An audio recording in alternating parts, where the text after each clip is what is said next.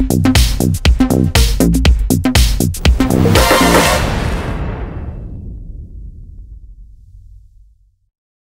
guys, Jim Daneker here. I wanted to show you some examples of something I posted about not too long ago, and that is recording keyboards through Neve style mic preamps. And the reason for that is because especially when you're using virtual versions, like for example, I'll show you here in a minute, the Cherry Audio uh, Memory Moog emulation, which is pretty good.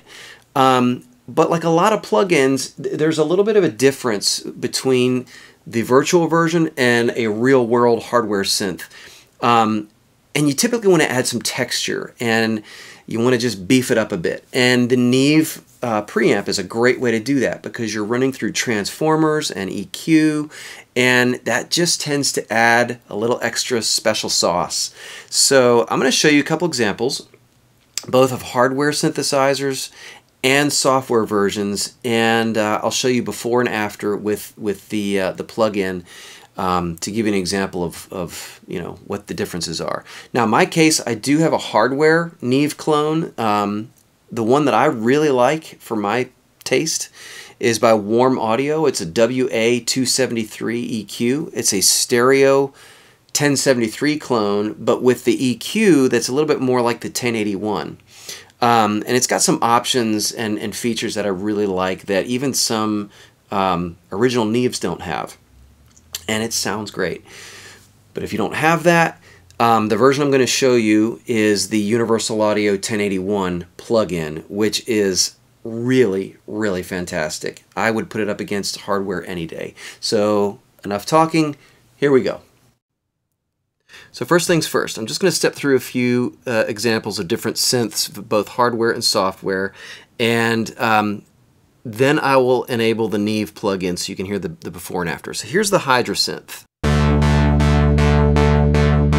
Just a simple little arpeggiated pattern.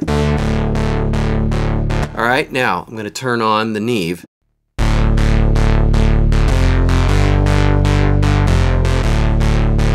With the Neve. Let me bypass it again.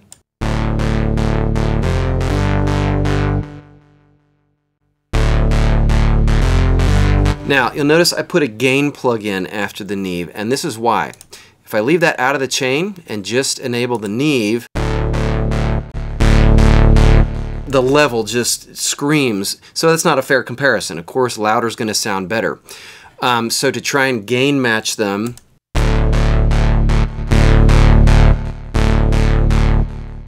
uh, you know, I added the gain after the Neve because unfortunately the Neve plugin doesn't have a trim control after the uh, the, the, gain. And, and here's what's happening. So let me turn on the Neve. Part of what's making that magic is it's modeling the, the input transformer. So when I turn the red knob here,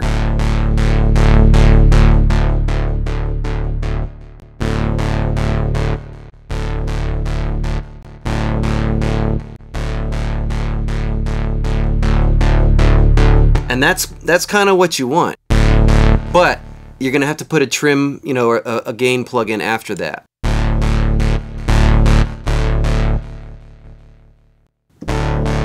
So there you go. That's bypassed altogether. And that's with it. Okay, so moving on. MatrixBrute, Arturia, uh, one of my favorite mono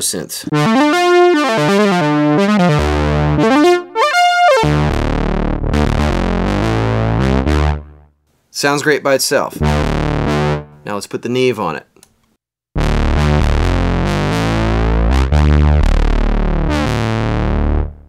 Turn it off. Back on. Um, there you go. It just makes everything bigger. And part so here's what I'm doing. In addition to the gain on the plug-in, the preamp gain, Also adding some low end EQ.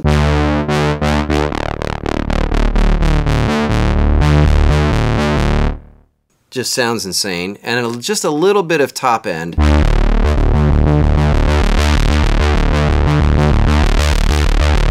Now notice something else here. The EQ, typically in a plug-in, you know, digital EQ, it just never sounds good.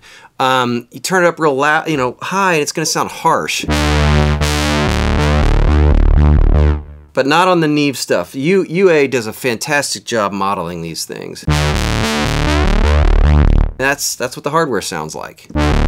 So, turn it off. Back on. Kind of subtle and kind of not subtle at the same time.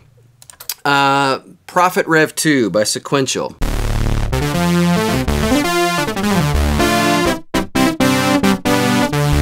Of course, now the, the Neve is on. Bypassed. It's with it.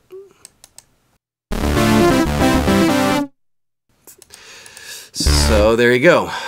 One or two more. Roland System 8, one of my favorite. This is my stand-in for Jupiter 8, Juno 106, JX3P, all the classic Roland analog synths.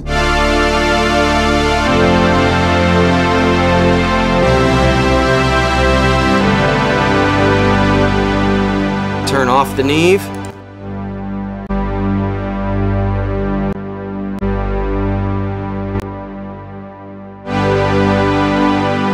with it. Without it.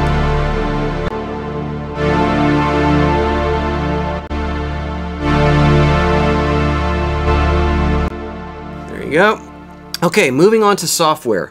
Um, I now have the Cherry Audio Memorymode, which is the Memory Moog emulation, and this thing is fantastic. Get the plugin out of the way.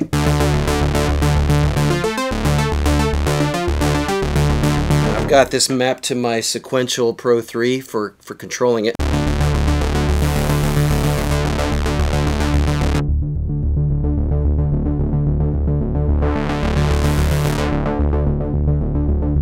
Okay, now let me turn the Neve on. Now we're talking.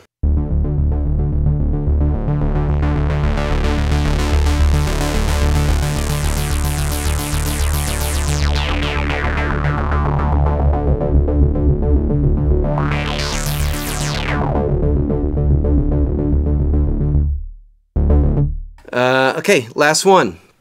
Um, one of my other favorite synths lately is free. It's by um, Digital Disco and it's called OBXD.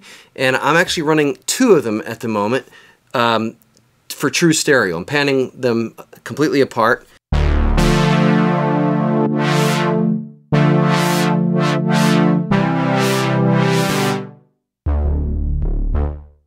big old Oberheim fatness.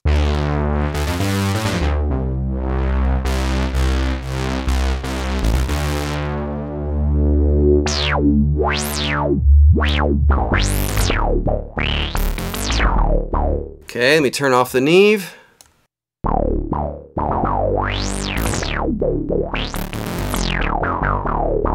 Turn it back on.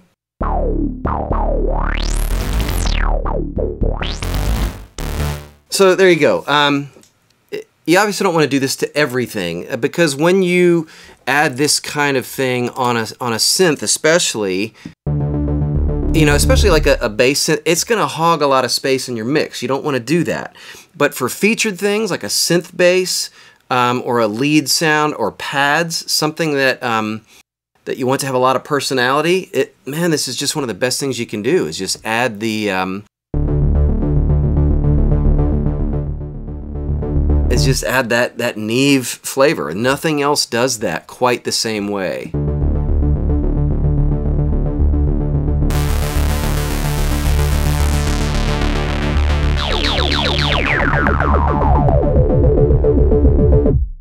So there you go. That is what I was talking about in that post. I hope this gives you some ideas.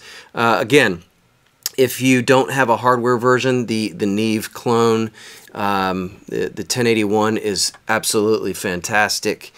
Um, there's others. I think Waves has one, uh, which is pretty good.